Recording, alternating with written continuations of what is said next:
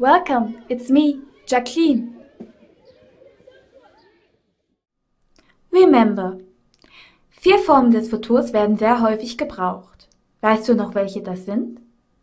Will Future, Present Progressive, Going to Future und Simple Present. Wie die vier Formen gebildet werden und wie sie gebraucht werden, solltest du noch aus dem letzten Video wissen. In diesem Video beschäftigen wir uns damit, Übungen zur Unterscheidung der verschiedenen Futurformen zu machen. Exercise 1. Welche Art die Zukunft zu beschreiben ist die beste? Wähle eine aus. I feel sick. I think. I am staying. I am going to stay. Oder I will stay at home. Drücke kurz auf Den kompletten Film und viele weitere findest du auf www.sofatutor.com. Über 7000 Lernvideos erklären dir, was du für gute Noten wissen musst. Tests überprüfen dein Wissen nach jedem Video.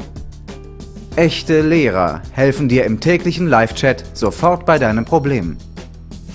Du kannst außerdem Privatstunden bei deinem persönlichen Online-Tutor buchen, um tiefer in ein Thema einzutauchen. So helfen wir dir, deine Zensuren ohne großen Aufwand zu verbessern. Probiere es am besten sofort aus. Auf www.sofatutor.com